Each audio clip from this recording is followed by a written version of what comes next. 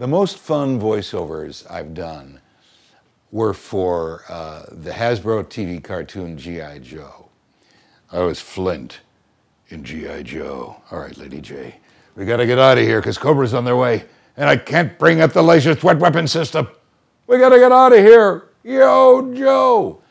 We did 50 episodes of that cartoon. And then uh, Seth MacFarlane, who created Family Guy, years later called up my agent and said, Is the guy who did the voice of Flint still alive? And she goes, Yeah, it's Bill Ratner, and I represented him. And that was me. I got on the phone with Seth MacFarlane, who to me is like a superstar, you know, big time cartoon producer, host of the Oscars, movie director, etc. And he was nervous.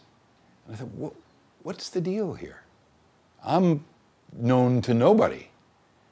And, and uh, he said, I used to listen to, I used to watch G.I. Joe all the time, man, and I, I, I really love your voice and blah, blah, blah. And I realized, oh, I get it.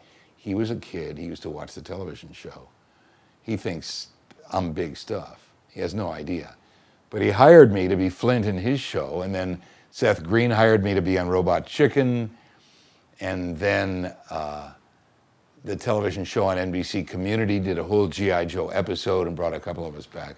So G.I. Joe is still alive. Flint still lives 30 some years later.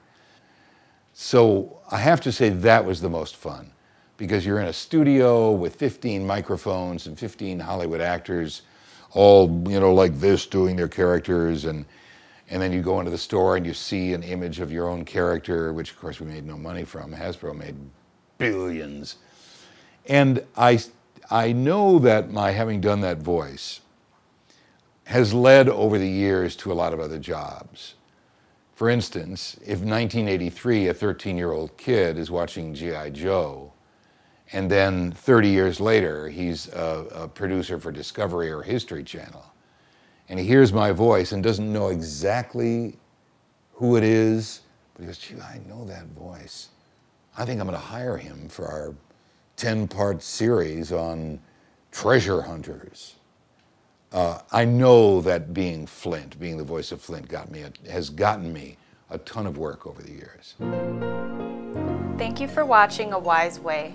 Subscribe to stay updated, share to pass the knowledge, or view our other videos on the left.